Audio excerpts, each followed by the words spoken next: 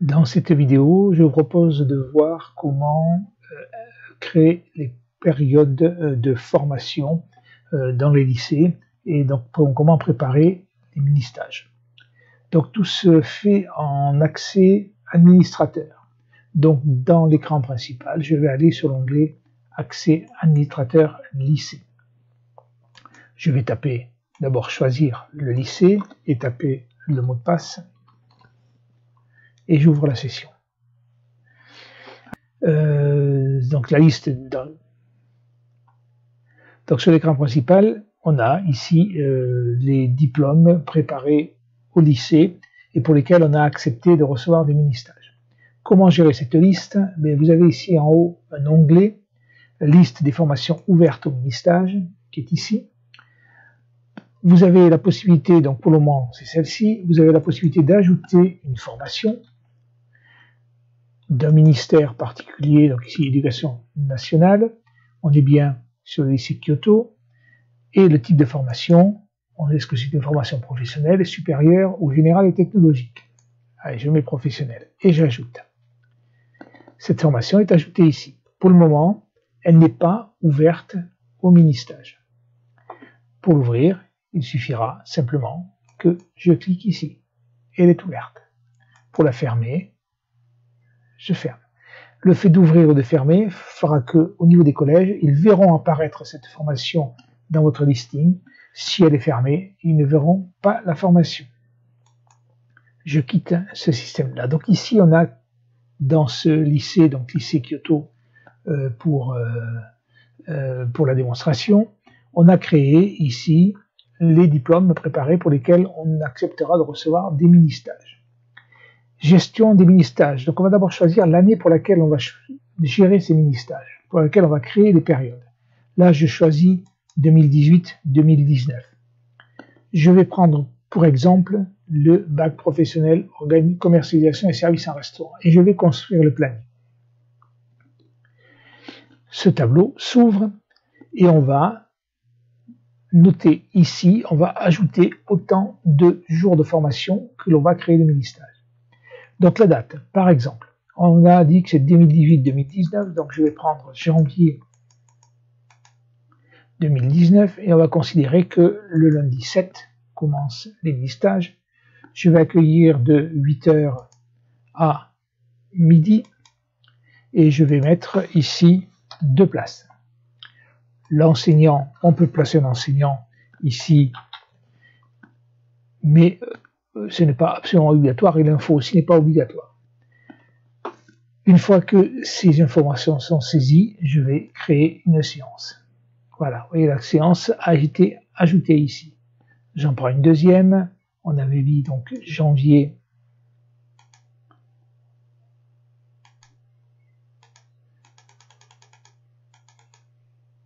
On a mis le 7, on va mettre le 14. Deux jours 2, 8 heures à midi. Le nombre de places, on va mettre un peu plus ici, 6. Le maximum est de 24. Si vous faites plus de 24, déjà, je pense que vous mettrez deux enseignants, donc il vous faudra vous mettre deux lignes. Et donc ici, je vais ajouter la séance. Cette séance, vous voyez, s'ajoute à la suite. Bien. Si maintenant je veux modifier cette séance, je suis plus de 8h à midi, mais de 8h à 16h, je vais aller ici, et je vais changer tout simplement l'horaire, 8h, 16h, et on va mettre deux places, on va mettre six places, et on va enregistrer les modifications. Voilà. On a le nombre de places proposées qui est 6. Le deuxième, par contre, ici, on va rester sur les mêmes horaires, mais je vais laisser à 2. Voilà, donc vous voyez que vous pouvez changer et modifier les informations liées aux places proposées et aux horaires. Attention, une fois que ces changements, une fois que les élèves sont inscrits, euh, il ne faudra plus rien changer. Je peux supprimer la séance tout simplement en cliquant ici. On va maintenant entrer dans le détail de la, de la séance. Donc, soit on peut accéder à la liste complète.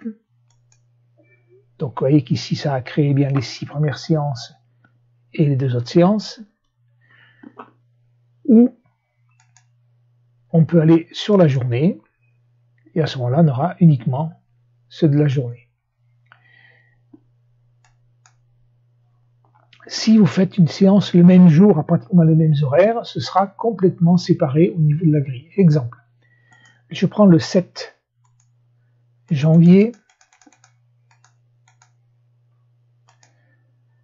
je crée de 8h, non pas à 16h, mais de 8h à 15h une autre séance, et je mets 5 places. on a bien les deux lignes créées à 15h et l'autre à 16h. Et quand je vais dans le détail, donc accéder à la liste des stages, on a bien le 7.1 de 8 à 15 et le 8 de 16. Donc ce tableau, il sera continuellement accessible et au fur et à mesure que les élèves s'inscriront en stage, on verra apparaître les euh, noms d'élèves dans cette colonne ici et les prénoms d'élèves dans cette colonne là. Ici, commercialisation, construire le planning. Si je change le nombre de places ici, on passe de 5, de 6, pardon, à 2. Quand je vais à la liste, il est évident, vous voyez qu'on n'a plus que deux places. Ici, ce bouton sert seulement une chose, c'est s'il y a un élève d'inscrit. Le collège s'est inscrit et euh, il décide de d'annuler la réservation. Il peut le faire lui-même depuis son micro, mais il se peut qu'il le fasse par téléphone. À ce moment-là, vous allez simplement sur cette ligne et vous effacez ici. Donc la réservation va se remettre à zéro, elle sera remise en ligne pour les collèges. Les collèges ne voyant apparaître que les places libres. Lorsque c'est complet, ils ne peuvent mettre personne. On peut également regarder ça par date. Là, cet onglet est très important pour euh, les personnes qui accueillent les mini-stages, c'est-à-dire le matin de la journée d'accueil. Ils vont mettre ici, alors on va mettre le 14, 14 janvier 2019. Je clique, vous voyez que là pour le moment il n'y a personne d'accueilli. Je vais revenir sur... Voilà pour euh, l'inscription et la, euh, la réalisation des plannings de mini-stages.